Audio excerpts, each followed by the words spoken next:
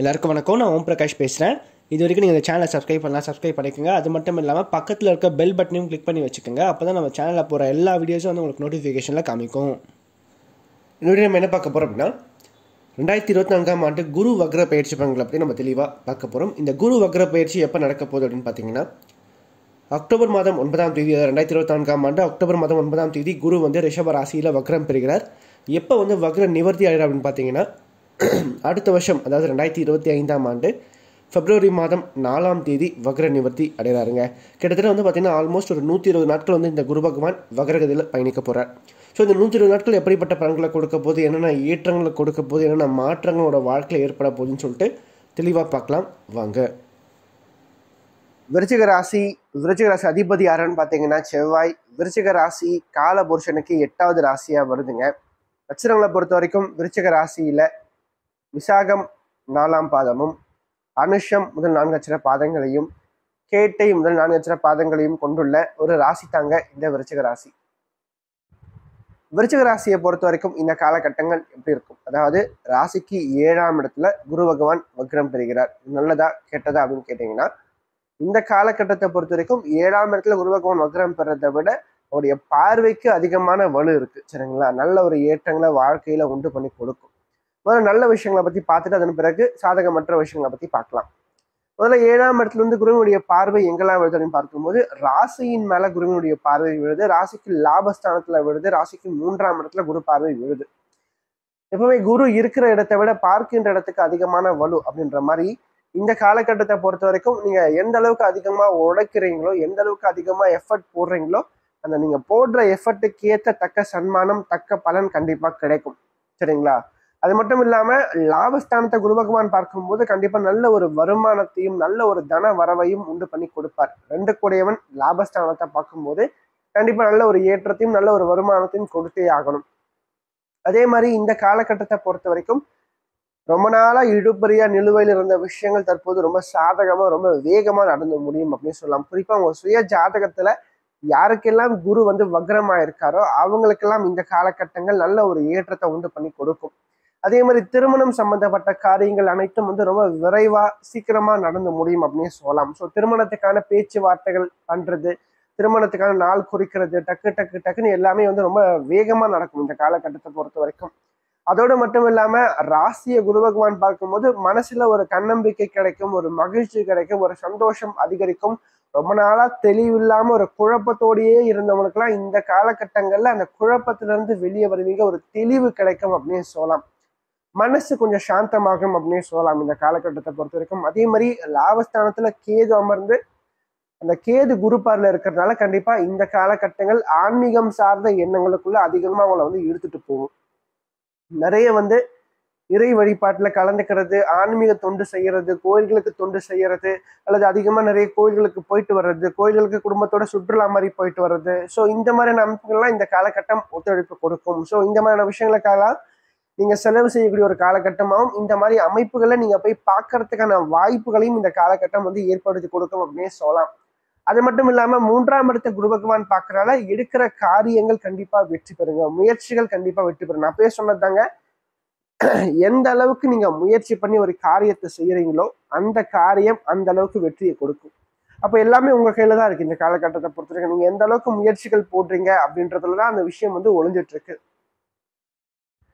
அது மட்டும் இல்லாம ராசிக்கு நாலாம் இடத்துல சனி பகவான் வந்து வக்ர நிவர்த்தி அடைகிறார் இந்த நாலாம் இடத்துல சனி இருக்கிறது நல்ல ஒரு அமைப்பு தான். நாளுக்குடையவன் நாளில் வலுத்து உட்காரும் போது கண்டிப்பா சொந்தமா ஒரு வீடு மனை வாகன வசதியை வந்து உண்டு பண்ணி கொடுக்கும். அல்லது கட்டின வீட்டை வாங்குறது இருக்கிற வீட்டை ரெனோவேட் பண்றது அல்லது செகண்ட் ஹேண்ட்ல ஒரு காரு பைக்கு இதெல்லாம் வந்து வாங்கிக்கிறது. ஸோ இந்த மாதிரி செகண்ட் ஹேண்ட் ப்ராடக்ட்ஸை வந்து வாங்குறதுக்கான அமைப்புகளை சனி வந்து உண்டாக்கி கொடுக்கும். ஏன்னா சனி அப்படின்னாவே ஒரு பழமை ஓகேங்களா? அப்போ செகண்ட் ஹேண்ட் பொருட்களை நீங்கள் வாங்கி பயன்படுத்தும் போது அது உங்களுக்கு நல்லபடியாக சரியாக வரும். அதே மாதிரி இந்த காலகட்டத்தை பொறுத்த வரைக்கும் ஸோ கொஞ்சம் வண்டி வாகனங்கள் கொஞ்சம் பழுதுகள் அதற்காக செலவு செய்யறது ஸோ இந்த மாதிரி அமைப்புகளையும் சனி வந்து கொஞ்சம் கொடுப்பார். அதில் கொஞ்சம் கவனம் எடுத்துக்கணும். அதே மாதிரி ராசிக்கு ஐந்தில் ராகு நாலில் சனி. மாணவ மனையில பொறுத்த வரைக்கும் படிப்பு ரீதியாக பார்த்தீங்கன்னா நல்ல ஒரு முன்னேற்றங்கள் காத்துட்டு இருக்கு ரொம்ப ஸ்லோவாக படித்தாலும் அகல உள்ளதோட ஆழமாக ஒன்றுன்ற ஒரு எண்ணத்தோட படிப்பீங்க. சரிங்களா? ஸ்டடீஸில் நல்ல ஒரு இன்வால்மெண்ட்டோட நல்ல ஒரு ஸ்டடீஸில் ஒரு க்ரோத்தோட கண்டிப்பாக படிப்பீங்க. நல்ல ஒரு ஏற்றங்கள் வாழ்க்கையில் காத்துட்டு இருக்கு அதே மாதிரி படித்து முடிச்சவங்களுக்கு அந்த முடிச்ச உடனே நல்ல ஒரு ஏதோ ஒரு கண்டிப்பாக வந்து சொல்லிக்கக்கூடிய அளவுக்கு நல்ல ஒரு வேலை கண்டிப்பாக கிடைச்சிடும் சரிங்களா? அதோடு மட்டும் இல்லாமல் தாயார் தாய் வழி உறவுகிட்ட இருந்து வந்த பிரச்சனைகள் கருத்து வேறுபாடுகள் கண்டிப்பாக சரியாகும். அடுத்து வந்து பார்த்தீங்கன்னா பிஸ்னஸ் பண்ணுறவங்களை பொறுத்த வரைக்கும் இந்த காலகட்டம் நல்ல ஒரு லாபத்தை உண்டு பண்ணி கொடுக்கும் நல்ல ஒரு வருமானத்தை உண்டு பண்ணி கொடுக்கும். ஏன்னா பத்தாம் இடத்தை சனி பகவான் பார்க்குறாருங்க. லாபஸ்தானத்தை குரு பகவான் பார்க்குறாருங்க. ஸோ பிஸ்னஸ்லேயும் சரி வேலை ரீதியாகவும் சரிங்க. நீங்கள் போடுற எஃபர்ட்டுக்கு ஏற்ற தக்க சன்மானம் தக்க பதவி உயர்வு கண்டிப்பாக கிடைக்கும். அதே மாதிரி காதல் வாழ்க்கையை பொறுத்த வரைக்கும் இந்த காதல் வாழ்க்கையான திருமணத்தில் போய் முடியறதுக்கான அமைப்புகள் சற்று அதிகமாக இருக்குது இந்த காலகட்டத்தை பொறுத்த வரைக்கும். மேலும் மேரிட்டல் லைஃப் எப்படி இருக்கும்? திருமண வாழ்க்கை எப்படி இருக்கும் அப்படின்னு பார்க்கும்போது ஏழாம் இடத்துல குரு பகவான் வக்ரமாக இருக்கிறதுனால கொஞ்சம் ஃபேமிலி லைஃப்பில் கொஞ்சம் விட்டு கொடுத்து போகணும் சரிங்களா? கொஞ்சம் அண்டர்ஸ்டாண்டிங் அப்படின்ற விஷயம் கொஞ்சம் அவ்வப்போது குறையும்.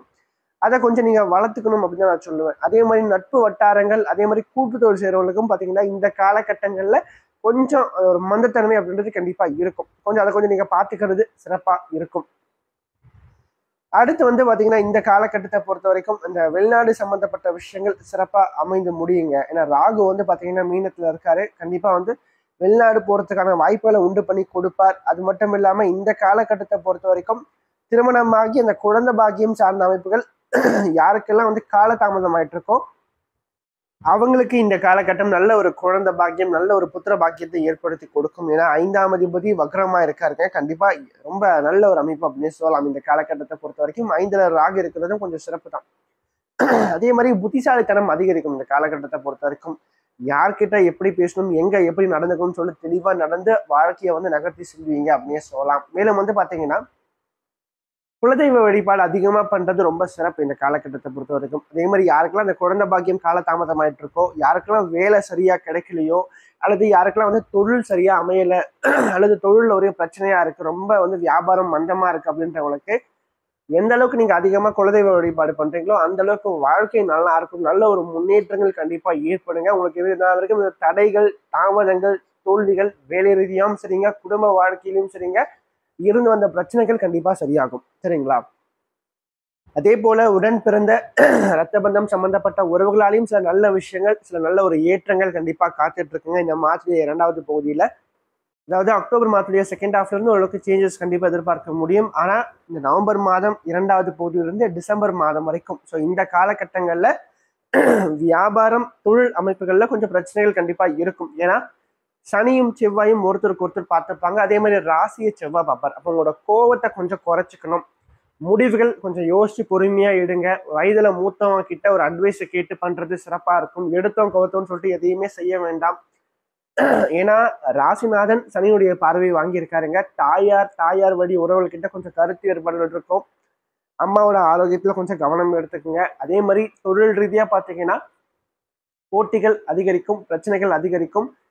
வேலை ரீதியாக கொஞ்சம் பணிச்சுமே அதிகரிக்கும். இந்த காலகட்டங்களில் எப்போன்னு பார்த்தீங்கன்னா நவம்பர் மாதம் இரண்டாவது பகுதியிலிருந்து டிசம்பர் மாதம் வரைக்கும் இந்த பலன்கள் இருக்கும். சரிங்களா? ஸோ இந்த காலகட்டங்களில் நீங்கள் எந்த அளவுக்கு இருக்கீங்களோ அந்த அளவுக்கு வாழ்க்கை வந்து சிறப்பாக இருக்கும். அதே போல குறிப்பாக தெரிஞ்சுக்குங்க இந்த கோவத்தை மட்டும் நீங்கள் விட்டுட்டீங்க கோவத்தை மட்டும் குறைச்சிக்கிட்டீங்க பொறுமையை நிதானத்தை அதிகமாக நீங்கள் வளர்த்துக்கிட்டீங்கன்னா கண்டிப்பாக வாழ்க்கையில் எந்த ஒரு பிரச்சனை வந்தாலும் இந்த காலகட்டங்களில் உங்களால் சமாளிக்க முடியும் அதில் வெற்றியும் பெற முடியுங்க. ஏன்னா சனியும் செவ்வாயும் ஒருத்தருக்கு ஒருத்தர் பார்த்துக்கிறது எப்பவுமே ஒரு நல்ல ஒரு அமைப்பு கிடையாது சரிங்களா? அது எப்படிப்பட்ட ஒரு ஜாதகமா இருந்தாலும் சரி சுய ஜாதகத்திலையும் சரிங்க கோச்சாரத்திலையும் சரிங்க. சனி செவ்வாய் எந்த பாவம் தொடர்பு கொள்ளும் அந்த பாவங்கள் கண்டிப்பா கெடும். அந்த வகையில பார்க்கும்போது பத்தாம் இடத்தை தொடர்பு கொள்ளும் போது கொஞ்சம் ஆரோக்கியத்துல பிரச்சனை இருக்கும் வேலை செய்யறதுல கொஞ்சம் பிரச்சனைகள் இருக்கும் தொழில் ரீதியா பிரச்சனைகள் இருக்கும். ஆனா ஜனவரி பிப்ரவரி இந்த காலகட்டங்கள் ரொம்ப நல்லா இருக்கும் சரிங்களா? விருச்சிகத்தை பொறுத்த வரைக்கும் நல்ல ஒரு ஏற்றங்கள் காத்துட்டு இருக்கு. ஆனா இந்த நாட்கள்ல மட்டும் கொஞ்சம் கவனமா இருந்துக்கிட்டீங்கன்னா வாழ்க்கை வந்து சிறப்பா இருக்கும். இந்த வீடியோ உங்களுக்கு பிடிச்சிருந்துச்சுன்னா லைக் பண்ணுங்கள் கமெண்ட் பண்ணுங்கள் அது மட்டும் இல்லாமல் உங்களோட ஃப்ரெண்ட்ஸுக்கும் சரி உங்களோட ஃபேமிலிக்கும் இந்த வீடியோ ஷேர் பண்ணுங்கள் ஏன்னா அவனோட வாழ்க்கையில் கண்டிப்பாக ஒரு மாற்றத்தை ஏற்படுத்தக்கூடிய வகையில் இந்த வீடியோ இருக்கும்.